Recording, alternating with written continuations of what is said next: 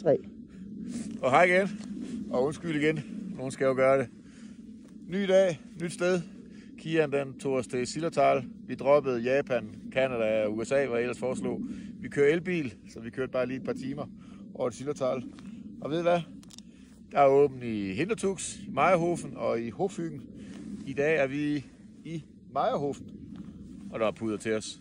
Vi ses. Kan I have det godt derhjemme? Jeg håber, I stadigvæk har lidt sne.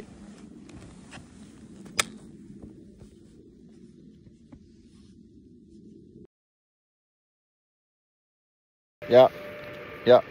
Igen i dag kører vi rundt med udelukkende tilfredse gæster. Og Trustpilot, ja, her har vi Line. Hun er, One man down. det siges, hun er yderst tilfreds med dagens guidning. Så hun er på vej på Trustpilot. I kender typen. Hun gjorde det også sidste år, der ved tilmeldingen. Jeg skal på hold 1. Jeg skal køre noget udfordrende skiløb. Og lige så snart man finder noget, der er lidt sværere end grøn pist, 啊 啊